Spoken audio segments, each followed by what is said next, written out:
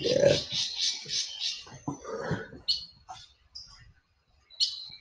Borussia and Gladbach and Hertha Berlin face each other in a highly anticipated game at Stadion im Borussia Park on Saturday afternoon. Die Fohlen failed to impress in a 2-2 draw with Freiburg, but it is to be noted that they were with one eye on the Champions League clash with Real Madrid.